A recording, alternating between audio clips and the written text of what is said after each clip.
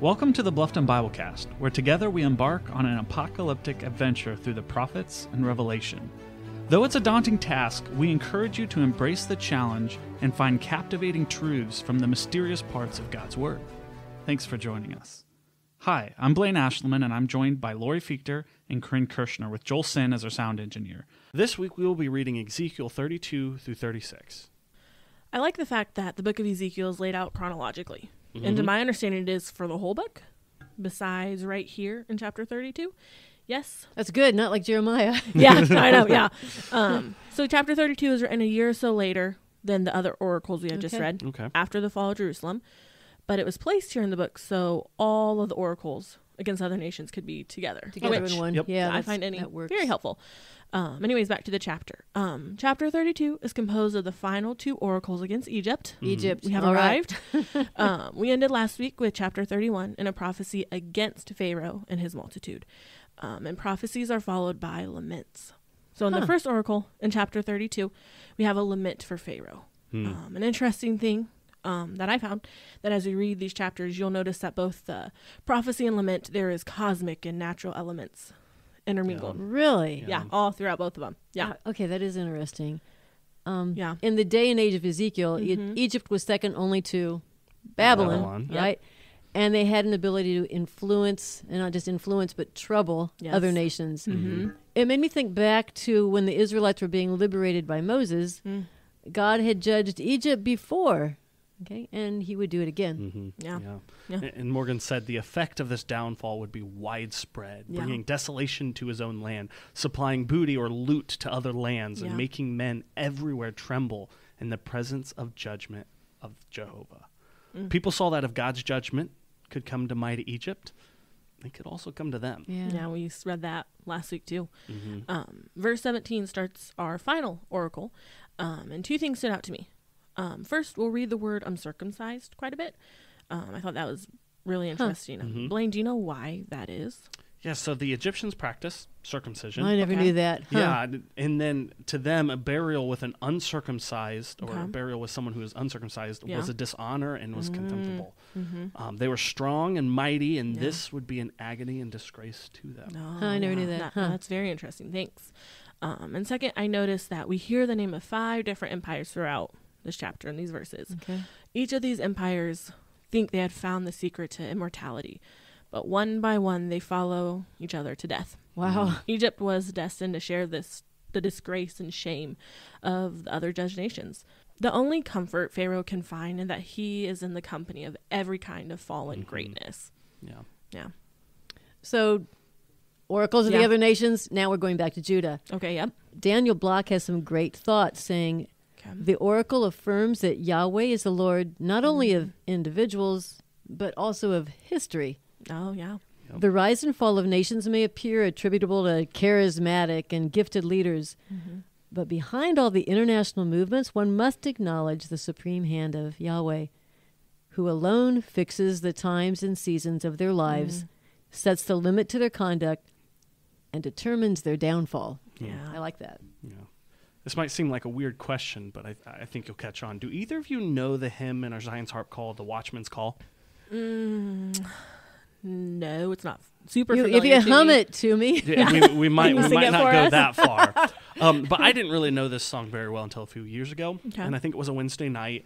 Mhm. Uh, this song was called out in church, and all I remember thinking was, "Thank goodness I'm not leading this." Song. oh wow, Um, yeah, I didn't have a clue what it was. Then within the span of four to five weeks, and this is what stuck out to me, we sang the song three or four times. oh, wow.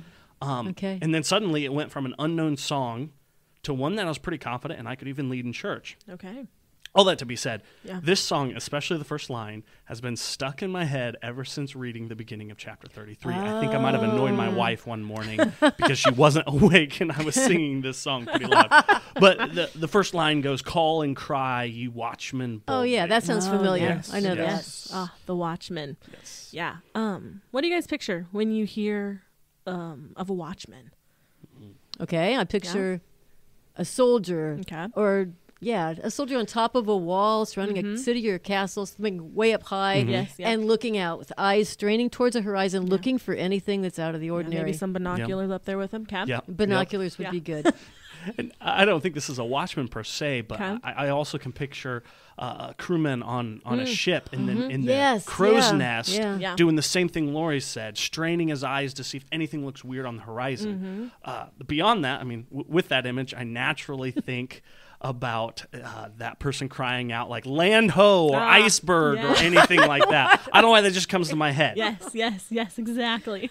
okay. I mean, you guys aren't too far off. A watchman is not merely one who looks out, but also one who reports Mm. exactly what they see and raises the alarm if it's danger. Okay, the Yeah. alarm thing. Yes, yeah. yep. So we read in chapter 33 it falls on the watchman to sound the trumpet, Yep. and if they don't, the watchman is guilty of the blood that is shed by the attackers. Yep.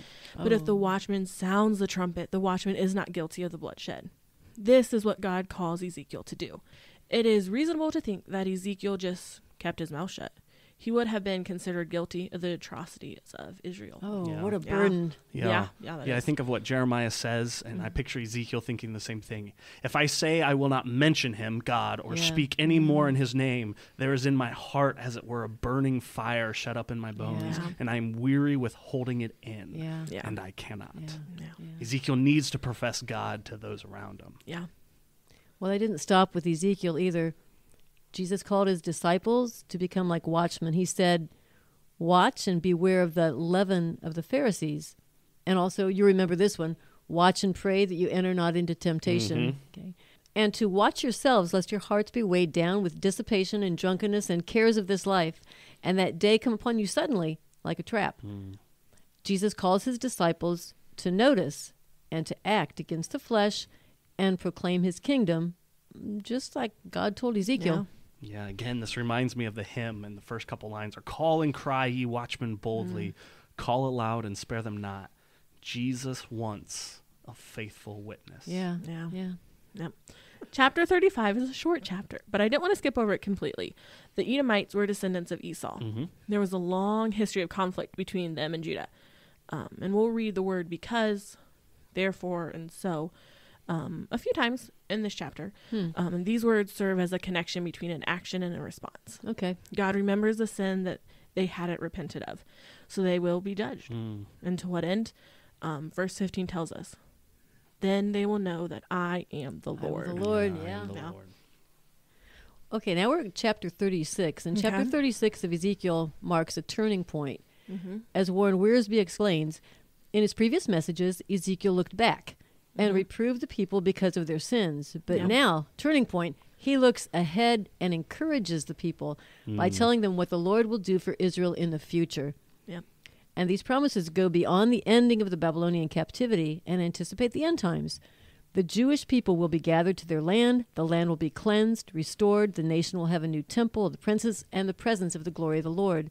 The future of Israel can be summarized, Wiersbe said, in Okay. four words Mm-hmm. restoration, regeneration, resurrection, Mm. and reunion. Mm, I like Yeah. that. Yep. And God tells Ezekiel to prophesy to the mountains of Israel.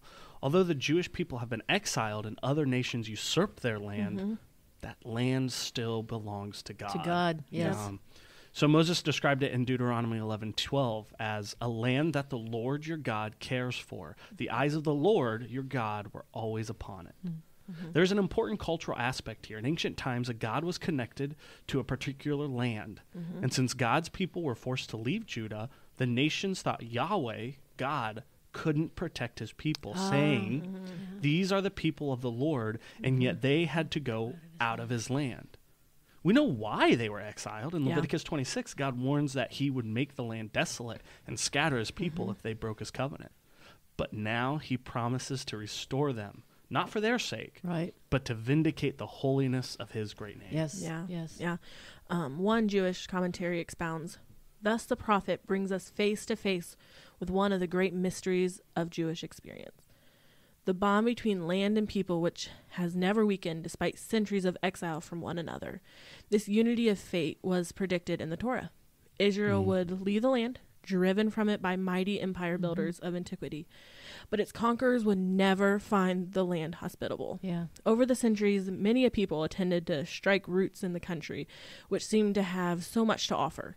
The land rejects them all, preferring to hmm. reflect the desolation of the exiled Israel's heart and the desolation of its once fertile mountains and valleys. But its desolation was not to be a permanent one. Mm. Always the land lay ready to yield an open hand bounty at the moments of Israel's return. Mm, I love that. Yeah. And the land was a desolation. See the show notes on the Ottoman Empire for more information. Okay. And in modern times, amazing, with the Jewish people drained malaria ridden swamps. They planted 250 million trees, pioneered the use of drip irrigation. Look that up, it's f- absolutely fascinating. Okay. And they made the land fruitful again. Mm. This partial fulfillment points to the best promises that are yet to come, verses 26 through 28, where it says, And I will give you a new heart, and a new hmm. spirit I will put within you. Yeah. I will remove the heart of stone from your flesh and, and give you a heart of flesh. I will put my spirit within you and cause you to walk in my statutes and be careful to obey my rules. You shall dwell in the land that I gave to your fathers. You shall be my people, and I will be your God. Hmm. We've enjoyed digging into God's Word together, and we pray that all of us can continue to glorify God as we gain more knowledge of Him. Thanks for tuning into the Biblecast this week.